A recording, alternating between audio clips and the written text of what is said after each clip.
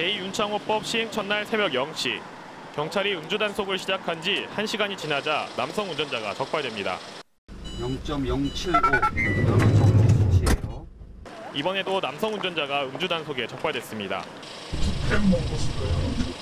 운전자는 맥주 두 캔만 마셨을 뿐이라며 발뺌하지만 면허 취소 수치가 나옵니다. 됐습니다.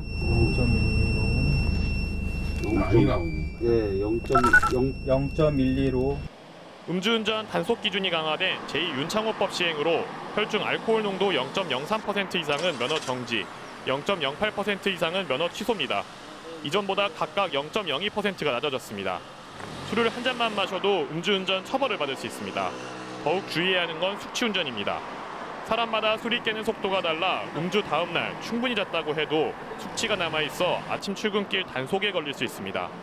아침에는 술이 깼으리라고 생각하고 운전을 하시는 분들이 있는데 앞으로는 소주 한 잔을 드셔도 단속 기준이 될 수 있습니다.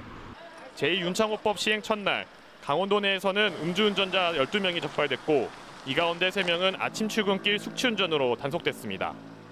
개정된 도로교통법 시행에 따라 경찰은 두 달 동안 음주운전 특별단속을 시행할 계획입니다. KBS 뉴스 정상빈입니다.